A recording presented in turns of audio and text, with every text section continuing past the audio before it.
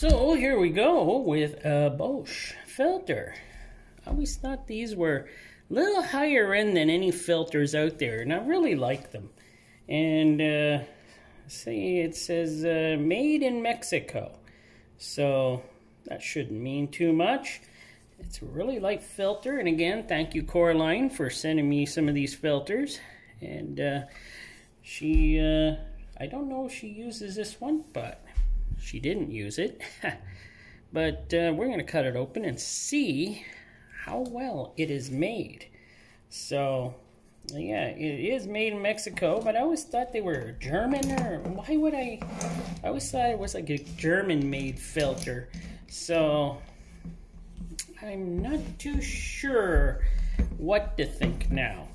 So, here, we're just going to get her here and hopefully cut open.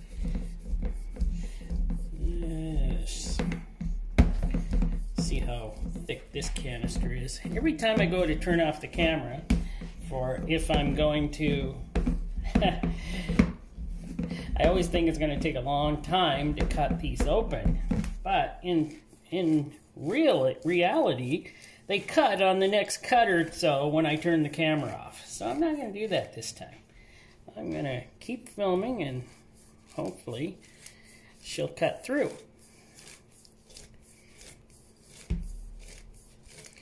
Because few people like to watch me cut these filters off and see me struggle. Well, I hope not. This canister is pretty, this, this is a lot thicker than I thought it was going to be.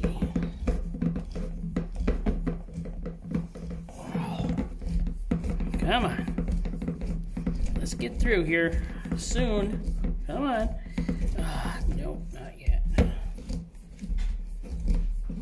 Oh, I thought we were getting close. Ah, come on. See? My wife tells me you should show yourself cutting these open. And then, not then what? When I get one of these tougher canisters, it uh, takes forever and kind of boring. So if you want to fast forward through this, go right ahead.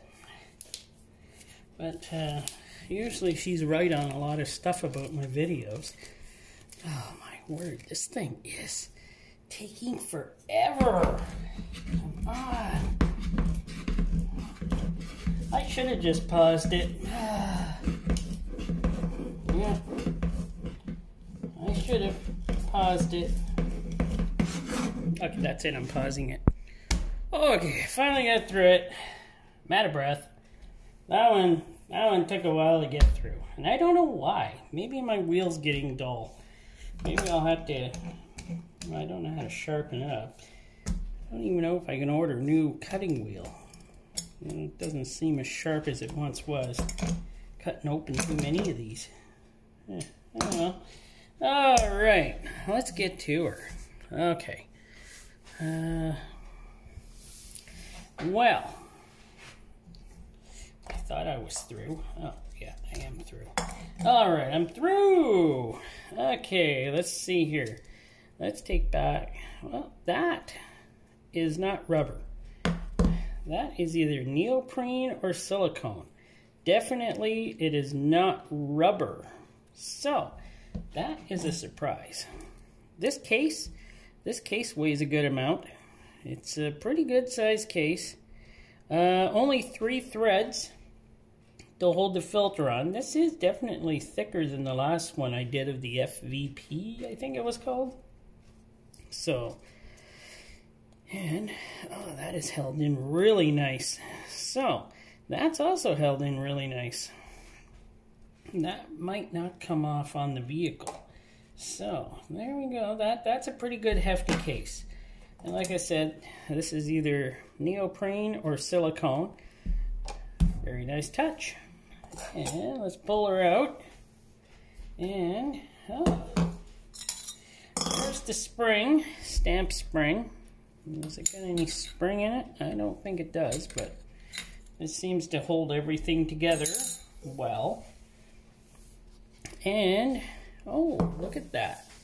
It does have a bypass valve, and it does work. So yeah, that works. Very nice. Very nice filter so far.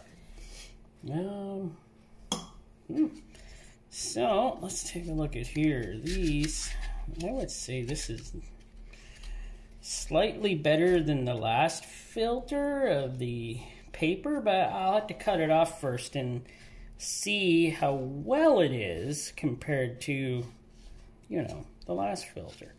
I don't really compare filters here. I just go by one by one and give my opinion. So let me cut off the filtration and I'll get back to it. All right, I got her cut off. And one thing I did notice about this filter is where it is attached. Is that it? I think that's it.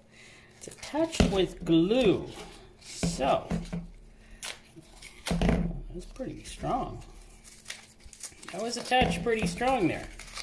So, the case, of course, is steel, metal, metal, and that's that's a good thing. You see a lot of the tubes look like this nowadays.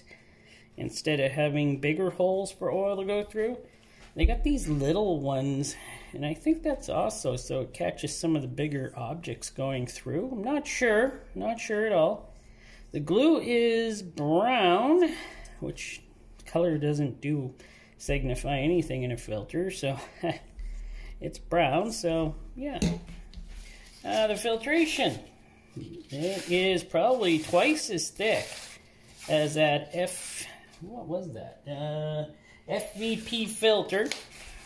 So, yeah, it's probably about twice as thick. And, yeah, it's a lot stronger than that FVP filter filtration was. So, this this will probably do a much better job at filtration, even though it cost, I think this one only costs about, uh, that other one costs like 250 in the United States. And this one, uh, I think she said about four bucks in the US.